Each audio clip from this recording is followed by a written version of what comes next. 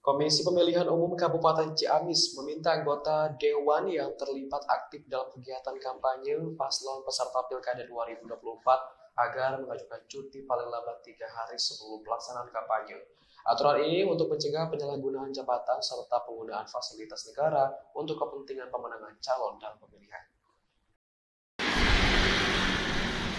KPU Kabupaten Ciamis meminta para anggota dewan yang terlibat dalam kegiatan kampanye pasangan calon kepala daerah yang akan berkontestasi dalam Pilkada 2024 agar mengajukan cuti terlebih dahulu.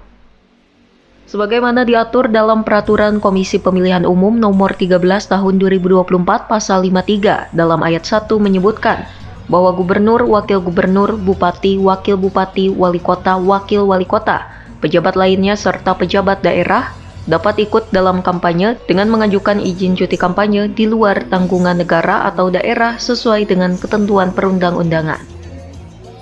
Sesuai dengan ketentuan, surat izin cuti kampanye anggota dewan harus diteruskan kepada KPU dan Bawaslu paling lambat tiga hari sebelum pelaksanaan kampanye. Soal anggota dewan harus cuti nggak sih Pak untuk Cuti. mengikuti kampanye? Ini gimana Pak teknisnya? Secara teknis itu diatur di teknis ada ada cuti dan dan itu kita hanya dapat laporan. Oh, ya dari tim eh, tim pasangan calon atau dia sendiri memang mengajukan.